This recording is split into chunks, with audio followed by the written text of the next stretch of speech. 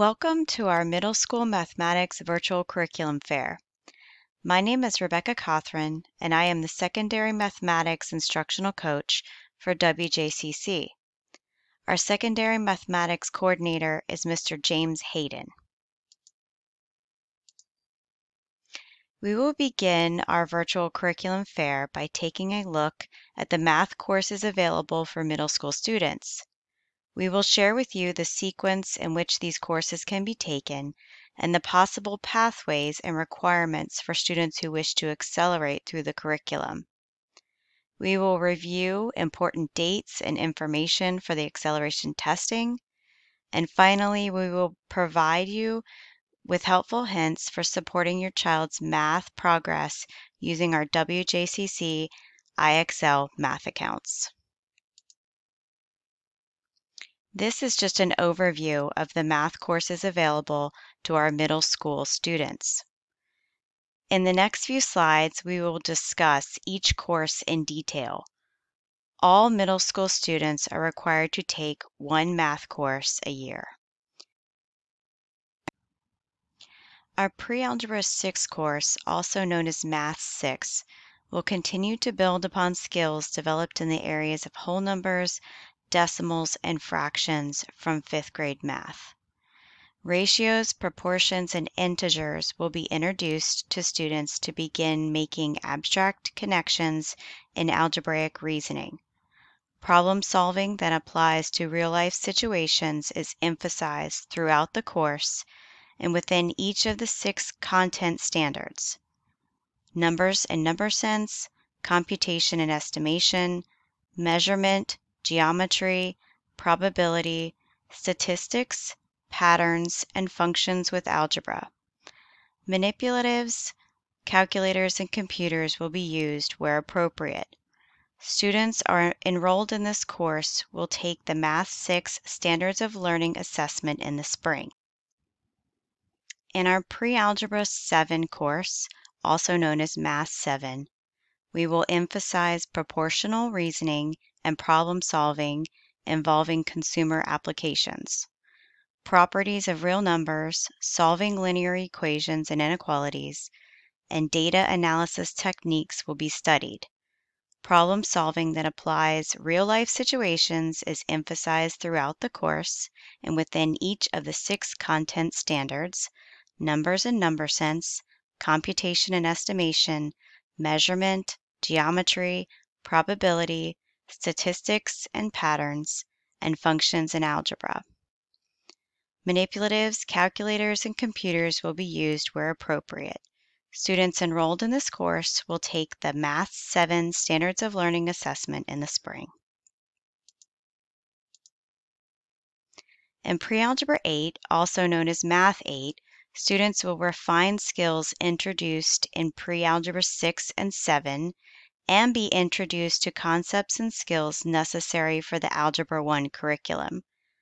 Elements of the course include the language of algebra, formulas, solving equations and inequalities, probability and relations, functions, and graphs.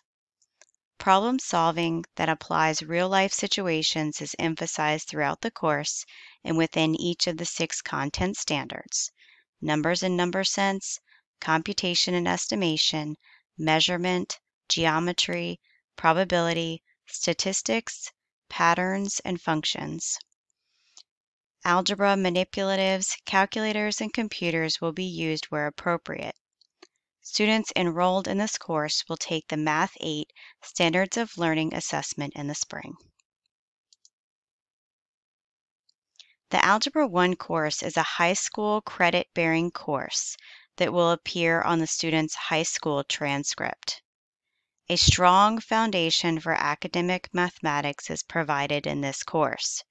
Students will use algebra and a graphing calculator as tools for representing and solving a variety of practical problems. This course will establish a working understanding of the terminology, notations, and symbolism of algebra. Topics include rational numbers, equations, inequalities, polynomials, factoring, rational expressions, graphing linear equations, systems of equations, and radical expressions. Students enrolled in this course will take the Algebra 1 Standards of Learning Assessment in the spring to earn their first high school verified credit. Geometry is a high school credit-bearing course that will appear on the student's high school transcript. This course is designed for students who have successfully completed Algebra 1. The course includes the deductive axiomatic method of proof to justify theorems and tell whether conclusions are valid. Emphasis will be placed on two and three dimensional reasoning skills, coordinate and transformational geometry, and the use of geometric models to solve problems. Students enrolled in this course will take the Geometry Standards of Learning assessment in the spring to earn a high school verified credit.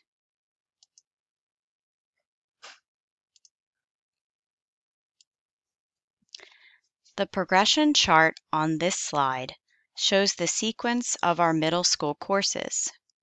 The pathway on the bottom of the diagram is the course sequence of our vision students. These students have been identified through the gifted identification process in elementary school to take an accelerated path, which combines Math 5 and Math 6 in their fifth grade year. This group of students will take Math 7 in the sixth grade, Algebra 1 in the seventh grade, and geometry in the eighth grade. The upper pathway in the diagram shows a typical progression for middle school math courses. There are, however, opportunities for students to accelerate in this pathway as well.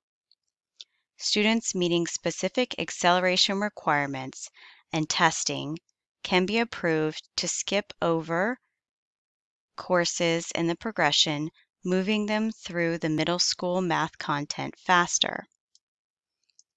Sixth grade students have the opportunity to accelerate to Math 8, their seventh grade year, and seventh grade students can accelerate to Algebra 1, their eighth grade year. On the next slide, we will review the requirements for these two acceleration opportunities.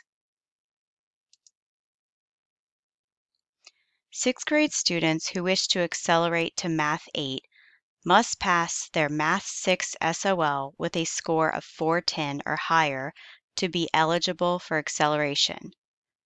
Beyond that, students must meet two of the three requirements on this list, meaning they must have a spring MAPS score of 225 or higher, an 80% or higher grade in the Math 6 course or have a teacher recommendation.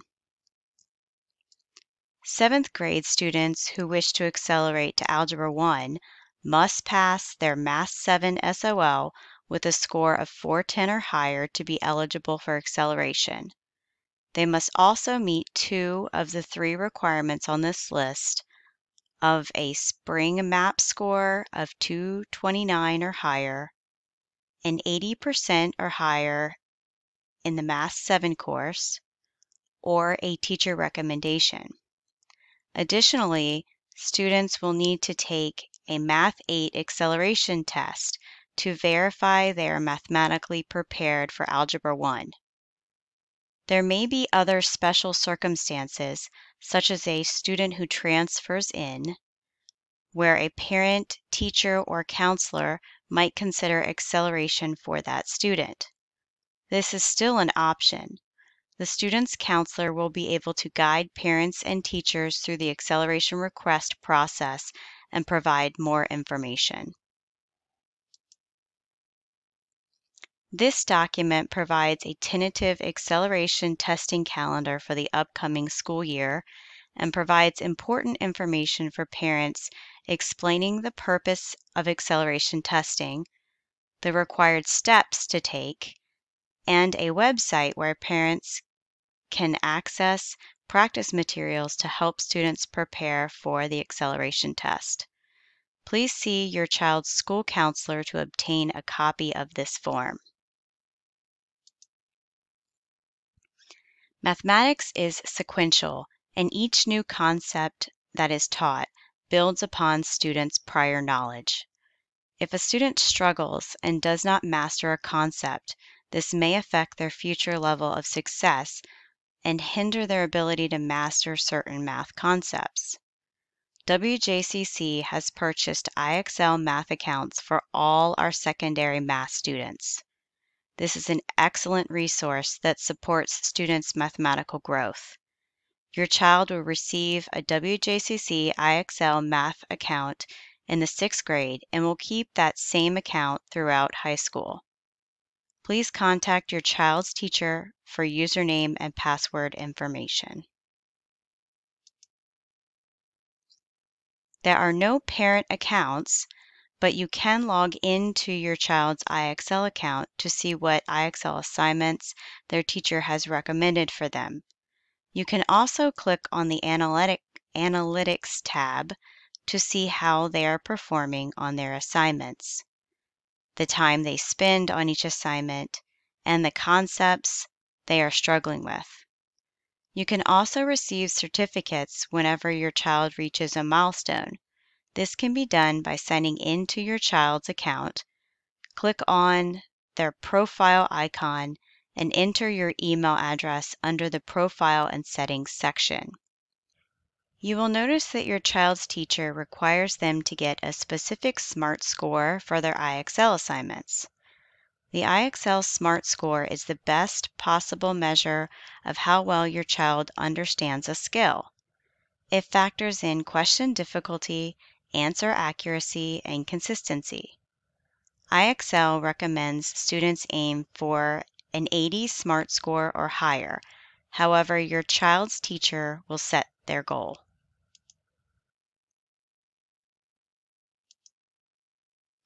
IXL offers the same parent information handouts in Spanish. Please reach out to your child's teacher for documents such as these.